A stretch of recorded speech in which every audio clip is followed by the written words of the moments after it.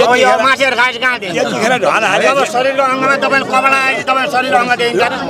यतै भयो अरू जवाब छैन दर्शकवृन्द नमस्कार अनि हार्दिक स्वागत छ म डिबी प्राथकी यतिखेर कपनमा खरे खोला अतिक्रमण गरेर बनेका घर हटाउन भन्दै काठमाडौँ महानगरपालिकाको डोजर कपनमा पुगेपछि तनावग्रस्त वातावरण सिर्जना भएको छ। विकासको नाममा आतङ्क गर्न पाइँदैन। दोस्रो आतङ्क बन्द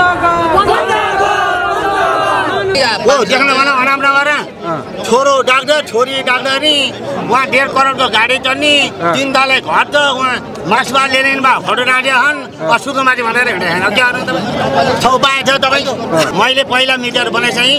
मैले उहाँलाई बेच्ने उहाँले उहाँलाई बेचिदिनु भयो उहाँले तपाईँलाई बेचिदिनु भयो अब अहिले यो भोग्न तपाईँले पर्यो। यो मलाई उहाँलाई मलाई थाहै छैन। तपाईँले थाहा पाउनु भयो त अब अहिले खोलो। कुरा यही हो भाइ अब जति कुरा गरेँ भनेको- फलाना डोजना डल्लो चाबीसम्म खोजेर लो। त्यतिसम्म त गऱ्यो भनेर भन्न परेन। त्यति त भन्दैनन्। अनि गर्दै हो त्यसो भए त्यो। कसैले अराएर गर्दै हो त्यो। आफै जनप्रतिनिधि आफै बसेर कसले हराउनु? र काठमाडौँ महानगरपालिका दस र बुढानीलकण्ठ नगरपालिका वार्ड नम्बर सातको सिमानामा रहेको साततले चोक नजिकैको खोला मिचेर सेटब्याक नछोडी खोला मिचेर बनाइएका संरचना भत्काउन आएको महानगरपालिकाको डोजर त्यहाँ पुगेको हो।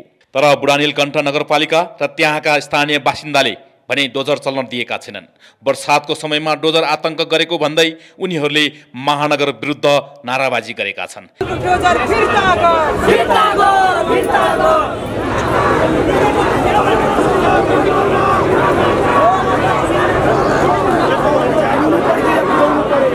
होइन म काठमाडौँ महानगरपालिका जे गरिरहेको छ त्यो चाहिँ अरूले कस्तो- सही गरे उनीहरूले पार्टी साटी थाहा छैन मलाई। अँ। बालन शाहले सही गरे अर्को थाहा छैन।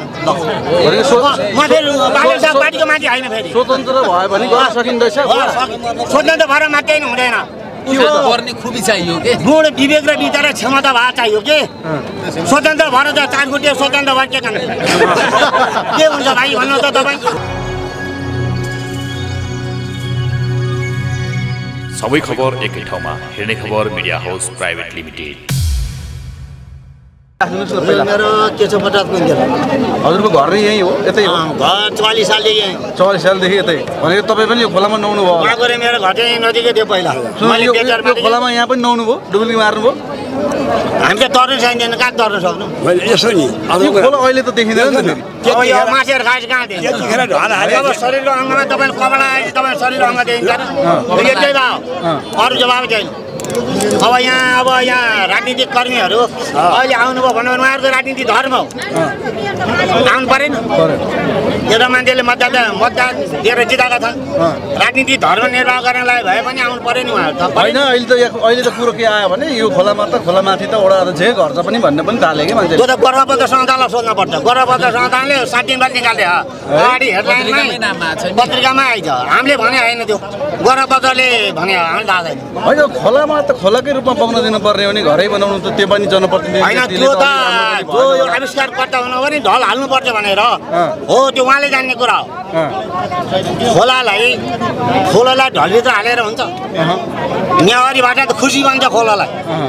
हो खुसी भन्छ खोला त आफ्नो खुसी बग्ने हो नि। तपाईँको बग्दैन तपाईँको छतको पानी बग्छ। भनेको खोलालाई पनि ज्यादती गर्ने रहेछ अरे गरेन। ज्यादा गरे। सहरमा सहरमा खोलालाई पनि ज्यादती गर्ने। गरे। आँखा पनि त थाहा पाउँदै गर्ने के फाइदा हो यसमा? फाइदा के होइन त्यो त अध्यक्ष रूपमा व्यक्तिगत फाइदा यसो बुझ्दा भनिदिनु न। कसरी फाइदा। के हो यो? त्यो त अब राजनीति कर्मीले सोध्नु पर्छ म राजनीति गर्ने। अनि खोलामा पनि राजनीति हुन्छ र खोला त हो राजनीति गर्ने खोलामा ढलमा बाटोमा सार्वजनिक जग्गा- गर्ने हो नि।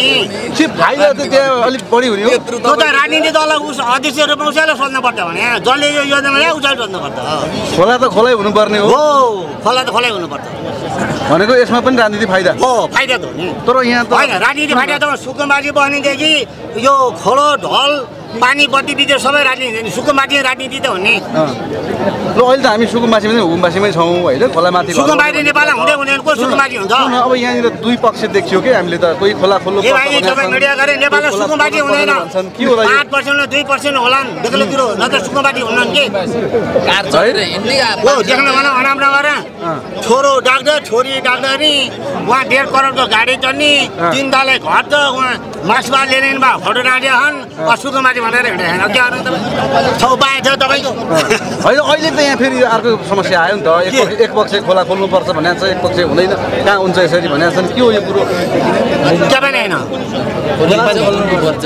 कसैले पनि भने छैन दुई आठजना दस आठजना के खोलो खोल्नु भने के भ्रम सिर्जना सबका घर जान्छन् भनेर लगाइदिएको घर जान्छन् भनेर चाहिँ तपाईँको खोल्नुहुन्न भनेर बिचराहरू पर्नुभयो। त्यो जसले हुन्न भन्नु पऱ्यो भने त्योहरू पुस्तामा पर्नुभयो। मैले पहिला मिटर बनाए चाहिँ मैले उहाँलाई बेच्ने उहाँले उहाँलाई बेचिदिनु भयो ए। उहाँले तपाईँलाई बेचिदिनु भयो अब अहिले यो भोग्न तपाईँले पर्यो।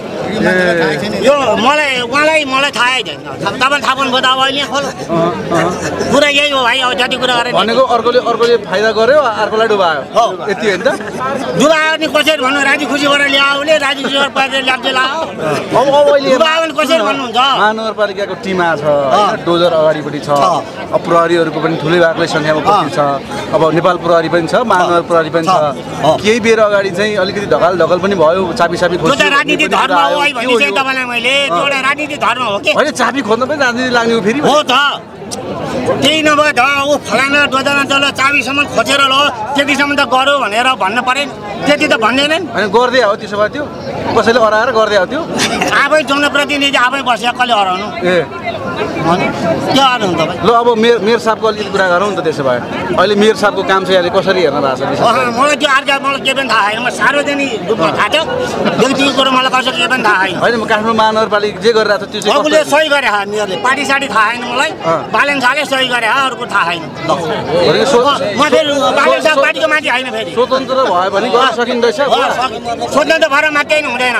गर्ने खुबी चाहियो के? गुण विवेक र विचार र क्षमता भए चाहियो कि? स्वतन्त्र भएर त चार खुट्टे स्वतन्त्र भएर के गर्ने? के हुन्छ भाइ भन्नु त तपाईँ? क्षमतावान चाहियो कि?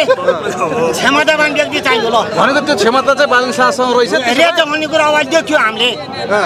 कतिले पत्ताउँदैन कि फेरि के हो यो? होइन नपट्याउनु त बेग्लै कुरा आउने ठाउँमा छ। अब यो खोलाले बगाउनु हुन्थ्यो खोला सुकेछ फेरि है।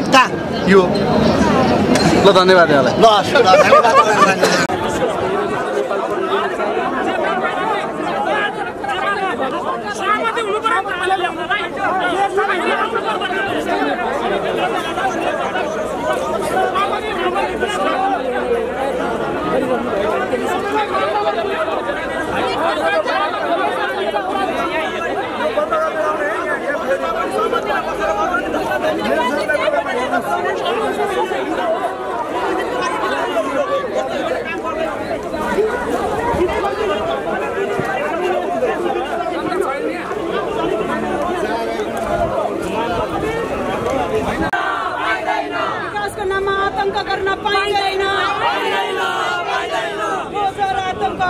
Pentagon!